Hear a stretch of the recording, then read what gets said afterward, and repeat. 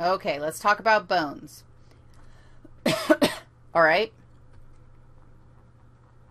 There are two kinds of cells in your bones that we're going to deal with.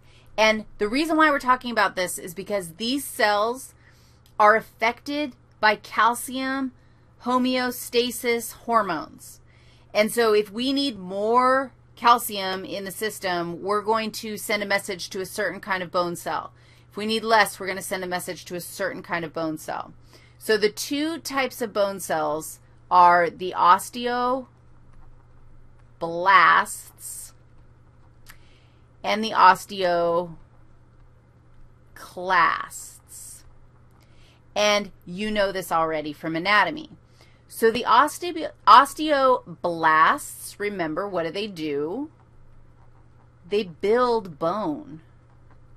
If they're going to build bone, what are they going to need? Calcium. So if they're super active, they're going to pull calcium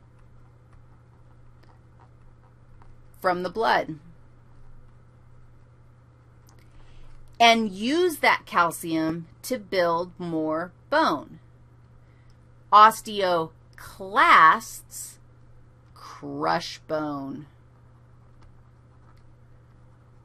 This is how I remember the difference between my blasts and my clasts. My clasts crush things. They destroy the bone. They break it down. Now, you might be like, dude, kill the clasts. Like, why would we ever want that to happen? Well, there's actual remodeling of your bones that happens based on the environment that you're in, based on the stresses that you put your bones under, and there's no point in having super strong, like thick places on your bones if you're not actually using them. So your bones end up having this kind of dynamic shaping that takes place based on what you need. Well, you can imagine that if you crush bone, if you're breaking down bone, that's going to um, free up calcium and you're going to be able to deposit calcium into the blood. So think about this. You got low calcium. You're feeling kind of sad. Who, are, who should your hormones activate? Low calcium? Let's get more calcium into the scene. Dude, activate the clasts. Life is great. You've got tons of calcium. Way to go, rock star. You're drinking lots of milk and eating lots of broccoli and almonds and beans because those all have calcium in them too. And now you've got tons of calcium. Who should you activate?